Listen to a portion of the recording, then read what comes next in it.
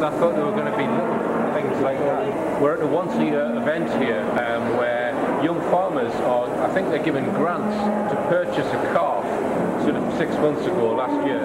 And what they have to do is suckle the calf through the winter and grow it as much as they can. And then they basically, they then sell the calves and the, the young farmer that uh, actually makes the most money on the calf wins the competition. So we should have, and I think there are over 60 calves that have been purchased and are entering this competition. They're not being sold today, I think they're going to be sold tomorrow. Uh, we brought along 50 copies of Silent Killers to hand out with um, a message which reads, have you seen any unexplained animal deaths or injuries? Watch this shocking documentary for full information. And it's got my telephone number on here. So we're going to hand these 50 DVDs out to anyone who keeps large amounts of cattle or sheep. These strange injuries.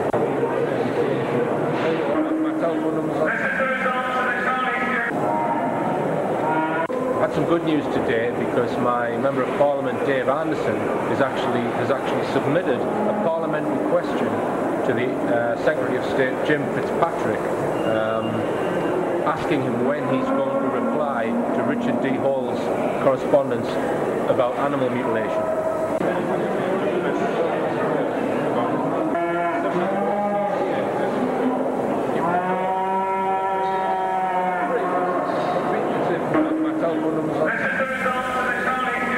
Okay, right, I've handed out all 50 DVDs of Silent Killers and it was okay until about the last five where I tried to give a copy to the secretary but I didn't know it was the secretary and he was asking all these questions, who was I, who was backing me, etc, etc, etc.